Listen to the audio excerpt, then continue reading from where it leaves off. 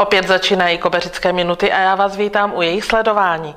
V pondělí 22. ledna si děti do mateřských školek pozvali své babičky a dědečky a společně tak strávili krásné dopoledne. Společně strávili čas dopoledne hraním, tvořením s dětmi oblíbených stavebnic nebo u stolečku, vyprávěním či jen tak povídáním mezi sebou. Děti se na babičky a dědečky moc těšili a připravili si pro ně i krátké vystoupení formou pohádky, zaspívali, zatancovali, přednesli básničku. Poté si vzali slovo dědečkové a babičky, aby dětem popovídali, jak to vypadalo ve školce, když byli malí, kde se dříve nacházela, co hezkého prožili a co naopak neměli rádi. Děti vše pozorně a značením poslouchali. Kolektiv mateřské školky děkuje všem, kteří přišli za příjemné dopoledne a těší se na další společné setkání.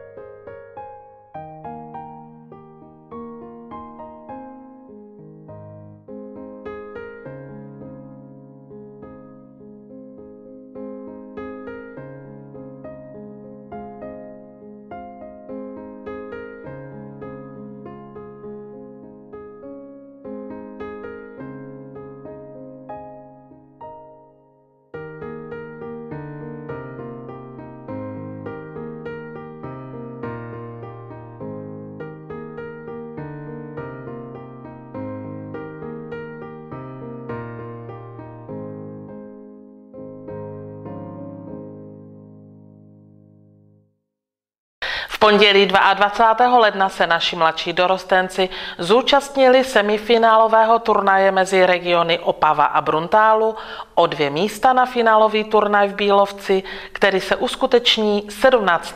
února. Naši fotbalisté začali turnaj prohrou z Raduní 3-4. Ve druhém utkání porazili Bolatice 7-1 a třetí zápas s Rýmařovem prohráli 6-4 posledním zápase naši fotbalisté porazili Jindřichov vysoko 11-1 a poté už jen čekali na výsledek zápasu mezi Rýmařovem a Raduní, který skončil vítězstvím Rýmařova 5-3. Na konci turnaje mělo mužstvo Kobeřic, Raduně a Rýmařova zhodně 9 bodů, tudíž rozhodlo skóre v minitabulce. Na medailových místech se umístili na prvním místě Kobeřice, druhé Rýmařov a třetí místo Raduň. Nejlepším hráčem turnaje byl vyhlášen náš Andreas Kolarčík.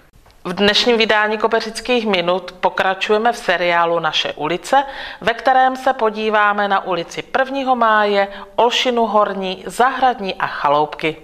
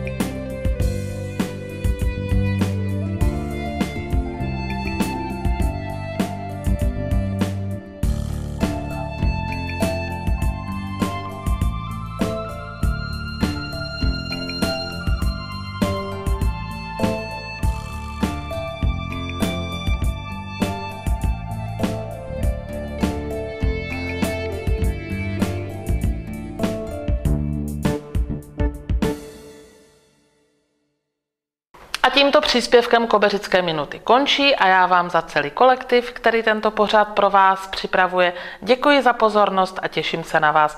Naschledanou příště.